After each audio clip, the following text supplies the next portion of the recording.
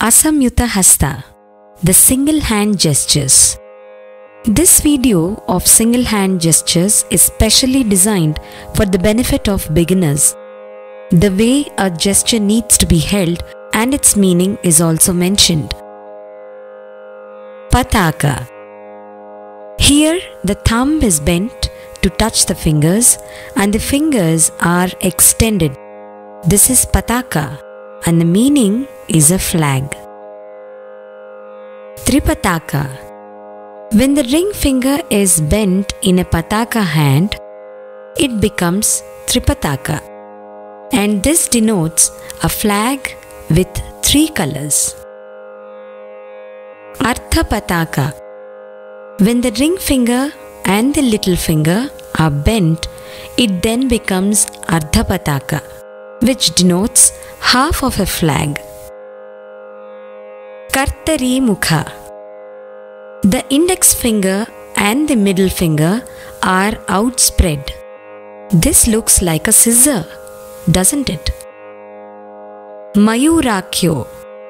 When we join the ring finger to the thumb and the other fingers are extended, then it is Mayurahasta, depicting a peacock. Ardhachandra. The thumb of the pataka hand is stretched out. It becomes Ardhachandra. The meaning is half moon. Arala. When the index finger is curved to touch the thumb, it becomes Arala and it means bent. Shukatunda. In this hasta, we find the index finger and the ring finger curved to denote a parrot's head. Mushti. When all the four fingers are bent upon the palm and the thumb is set on them, then it becomes mushti and it means a fist. Shikhara. If the mushti hand has its thumb raised up, it becomes shikhara, depicting a peak. Kapitha. The index finger bends and rests upon the thumb. It is then called kapitha, meaning elephant apple. Katakamukha. There are three varieties in Katakamukha which have different meanings. Now, this is a mudra which is used frequently in pure dance, that is nritta.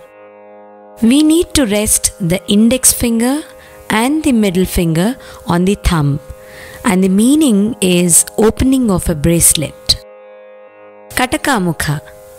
In this variety of Katakamukha, the middle and the index fingers are curved and rest on the thumb, denoting a bird. Katakamukha. This last variety denotes a girl. The thumb and the index fingers need to be held together with middle finger looking down and the rest of the fingers extended.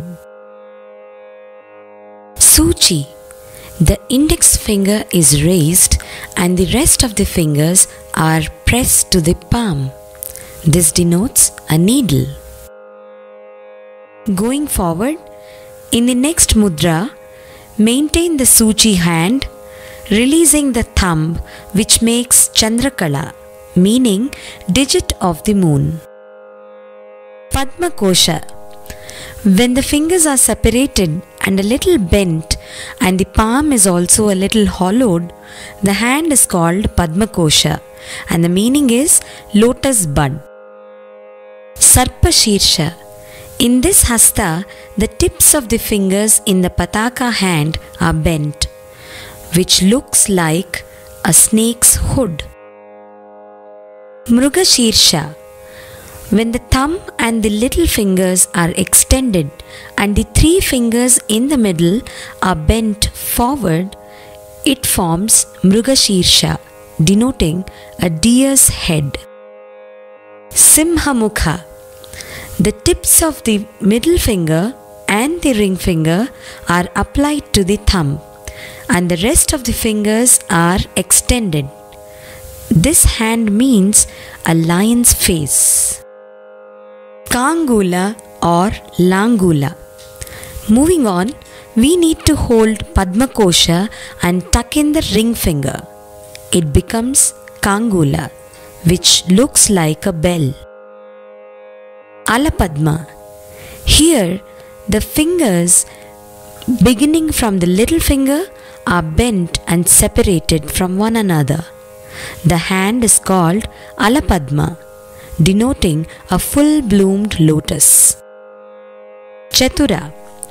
Let's observe the next mudra carefully. The thumb is placed in the middle of the middle finger and the adjoining two fingers are clinging to the middle finger and the little finger is outstretched. It becomes Chatura, meaning a square. Bhramara. When the thumb and the middle finger touch each other and the forefinger is curved and the remaining fingers are outstretched, the hand is called Bhramara, meaning a bee. Hamsasya. If the thumb and the forefinger touch each other and the remaining fingers are outstretched, the hand is called Hamsasya, denoting a swan beak. Hamsapaksha. If the little finger of the Sarpashirsha hand is outstretched, the hand is called Hamsa Paksha, meaning swan's wing. Samdamsha. If the fingers of Padma Kosha are closed and opened, then it is Samdamsha and it means pincers. Mukula. If we bring all the fingers of our hand to meet together, then it is called Mukula, meaning a flower bud. Tamrachuda. We need to curve the index finger and hold the rest of the fingers in a closed fashion. Then it becomes Tamrachuda, denoting a cock. Trishula. We need to hold the thumb and the little finger, stretching the middle three fingers upright as if to show number three. It denotes Trishula, the powerful weapon. Why don't you try now? Say the name, hold the hasta, and practice.